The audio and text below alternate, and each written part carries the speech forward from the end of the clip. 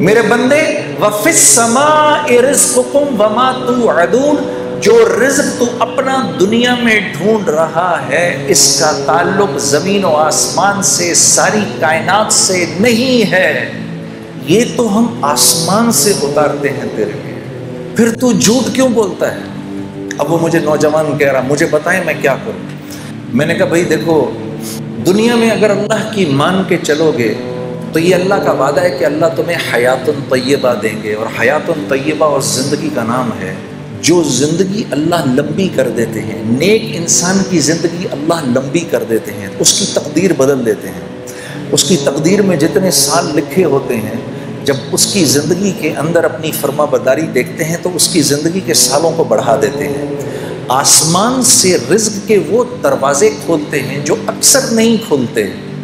उसके लिए ख़ास रिज्क उतरता है। अल्लाह उसको लंबी ज़िंदगी देते हैं, बीमारी से पाक ज़िंदगी देते हैं, खौफ से पाक ज़िंदगी देते हैं, गमों से पाक ज़िंदगी देते हैं उसको। तो मैंने कहा, ये रिज्क जब तुम्हारे घर आएगा तो अब तुम मुझे खुद बताओ, जब ये तुम्हारी औलाद के जिसम में ये खून में दौड़ेगा तो औलाद अल्लाह की फर्मा बरदार बनेगी कि नाफरमान? तो मेरी शक्ल देखने लगा, फिर कहने लगा, नाफरमान। मैंने कहा, ये ये रिज्क जब बीवी के खून में जाएगा, वो वफादारी करेगी, बेवफाई? कहने लगा, जी, बेवफाई। तो मैंने कहा, औलाद हो, नाफरमान, बीवी हो, बेवफा तो ज़िंदगी सुकून में गुजर सकती है? मैंने कहा, घर के जो नौकर चाकर हैं, जब वो ये खाएँगे तो तुम्हारे साथ वफादारी निभाएँगे कि बेवफाई करेंगे? हाँ जी बेवफाई। मैंने कहा, जब ये तुम्हारे जिसम के में जाएगा, ये नाफरमानी का रिज तो तुम अल्लाह की फर्मा बरदारी करोगे, नाफरमानी करोगे? रात को तहजद के लिए उठोगे क्या फिर तुम? रात को तहजद की नमाज़ पढ़ोगे क्या फ़िल्म देखोगे? कहता जी, मैं पूरी बात समझ गया। मैं पूरी बात समझ गया। फ़अल्हमहा फजूरहा मैंने उसको उठ के गले लगाया। मैंने कहा अगर तूने दिल में इस बात का आज़म भी कर लिया है कि आज के बाद मैं अल्लाह की फर्मा बरदारी करूँगा तो खुदारा बैठ के मेरे लिए दुआ कर, अल्लाह मुझे भी माफ़ कर दे कि इस वक्त अल्लाह की रहमत ने तुझे ऐसे घेरा हुआ है कि अगर उस बारिश के थोड़े से छींटे मुझ पर भी पड़ गए तो मैं भी निकल जाऊँगा। क्योंकि अल्लाह का जो बंदा अंदर से इस बात का आज़म कर ले ए अल्लाह, आज के बाद नाफरमानी नहीं करूँगा। मेरी मदद कर, आज के बाद मैं तेरी फर्मा बरदारी की पूरी पूरी कोशिश करूँगा। जो बंदा इस बात का सिर्फ़ दिल में आज़म कर ले, अल्लाह की रहमत उसके साथ हो जाती है। वो एक कदम चलता है, अल्लाह उसके साथ दस कदम चलते हैं। वो अल्लाह की तरफ़ चल के जाता है, अल्लाह उसकी तरफ़ दौड़ के जाते हैं। ये अल्लाह का वादा है। कद अफलाह मन जक्का अल्लाह फरमा रहे मेरे बंदे, अगर तूने अपने नफ्स को, अगर तूने अपनी ख्वाहिशात को मेरे हुक्मों के ताबे कर दिया तो तू कामयाब हो जाएगा। क्योंकि याद रख, नफ्स पर तू चलने के लिए नहीं है, नफ्स पर जानवर चल सकता है। क्योंकि जानवर को तो हमने कोई इख्तियार दिया ही नहीं, उस, वो तो अच्छाई और बुराई को नहीं समझता। कुत्ते को कल अल्लाह पकड़ कर जहन्नम में नहीं डालेगा कि तूने फला की टांग क्यों पकड़ी? वो कहेगा, या अल्लाह, तूने मुझे जिस फितरत पर पैदा किया, मैंने पूरी ज़िंदगी उस फितरत पर गुजार दी। मैंने उसी फितरत पर ज़िंदगी गुजारी। सांप को अल्लाह जहन्नम में नहीं डालेगा कि तूने क्यों काटा फला को? वो कहेगा, अल्लाह, ये तो तूने बात मेरी फितरत में डाली थी और मैं बिल्कुल पूरा का पूरा तेरे हुक्मों पर चला हूँ। शेर कहेगा, ए अल्लाह, मैंने कभी घास नहीं खाई मैंने कभी फल नहीं खाए, वो तूने इंसानों के लिए बनाए थे। मैंने कभी सब्जियों पर मुँह नहीं मारा, क्योंकि वो मेरे लिए था ही नहीं। मेरी तो जो तूने फितरत बनाई, मैं उसी फितरत पर चला। बकरी अल्लाह से, घोड़ा अल्लाह से, ऊँट अल्लाह से कहेगा, या अल्लाह, हमने कभी गोश्त को मुँह नहीं लगाया। जो तूने घास फूस हमारे लिए बनाई, हमने वही खाई। ये मेरे और आपका मामला है मेरे दोस्त। कल कराची एयरपोर्ट पर जब मैं यहाँ आ रहा था तो एक भाई मेरे पास आके बैठ गए।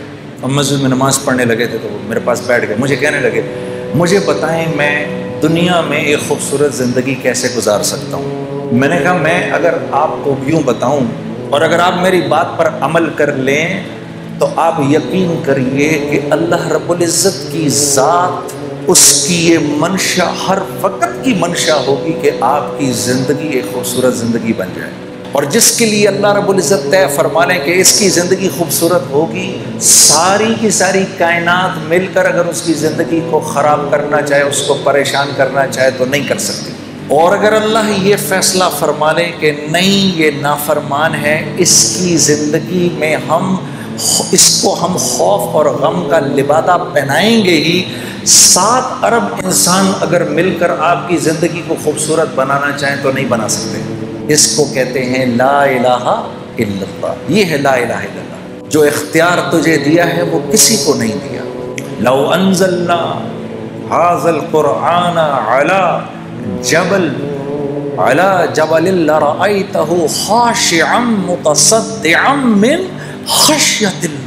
जब हमने इस कुरान को पहाड़ पर उतारने की कोशिश की, कितनी मज़बूत चीज़ है। ये इस पहाड़ को वो हवा नहीं हिला सकती, जो आग को बुझा देती है, जो समंदर के पानियों को लेके चलती है, वो आग भी वो हवा भी इसको अपनी जगह से नहीं हिला सकती। बड़े बड़े जलजले भी पहाड़ को नहीं तोड़ सकते। उस पहाड़ ने अल्लाह से कहा, या अल्लाह, ये कुरान मेरे ऊपर नहीं उतारना। मैं तेरे हुक्म नहीं पूरा कर सकता। क्योंकि मैं तो तेरे हुक्म में जकड़ा हुआ हूँ। इंसान ने कहा, ए अल्लाह हम पर उतार, हम तेरे हुक्मों को पूरा करेंगे। तो ये ज़िम्मेदारी लिए बैठे हैं मैं और आप, कि मेरी हर हाजत अल्लाह की ज़ात से जुड़ी हुई है। अगर मैं अपनी हाजत को चीज़ों के अंदर ढूंढूँगा तो मैं परेशान हो जाऊँगा। अगर मैं ये समझूँगा कि मेरे भूख का ताल्लुक मेरे मेदे से है तो फिर मैं मखलूक से जाकर अपनी ज़रूरत को पूरा करने की कोशिश करूँगा। मखलूक तो खुद ज़रूरतमंद है। उन्हें तो खुद ज़रूरत है। वो तो खुद भूखे होने वाले हैं थोड़ी देर के अंदर। उसको तो खुद भूख लगने लगी है थोड़ी देर में। मेरे दोस्तों, भूख आती है अल्लाह के भूख के खजानों से। इसका ताल्लुक मैदे से नहीं है। आज तो ये बात इतनी अजीब है कि इस बात को करो भी तो मुसलमान की औलाद भी आपकी शक्ल को ऐसे देखती है कि जैसे पता नहीं कौन सी अनोखी बात कह रहा हूँ मैं। लेकिन ये सच है, ये अल्लाह की सुन्नत है इसने कभी तब्दील नहीं होना। हम अपनी मर्ज़ी पर नहीं चल सकते। ये वो बात है जो मैं आपको बताने आया हूँ। क्योंकि आपका एक मकाम है, आप अशरफुल मखलूक़ात हैं। आप अपने नफ्स पर नहीं चल सकते। अगर नफ्स कह रहा है कि सोता रहे, फजर गुजरती है तो गुजरे, ये आप नहीं कर सकते। चलो एक सेकंड के लिए, सिर्फ़ समझाने के लिए, हम आखरत की नहीं, दुनिया की बात करते हैं, समझाने के लिए। जब आखरत समझाने लगो तो फिर क्या अगला कहता है, अरे मौलाना, यहाँ का बताइए कौन जीता है तेरी जुल्फ के सर होने तक? आखरत तो जब आएगी, तब आएगी, देखा जाएगा। यही करीब में जो रायवेंट का मरकज़। मैं पहली दफ़ा जब यहाँ से चार महीने लगा कर घर गया तो घर मुफ्ती तकी उस्मानी साहब से मैंने गुजारिश की, हज़रत तशरीफ़ लेकर आए।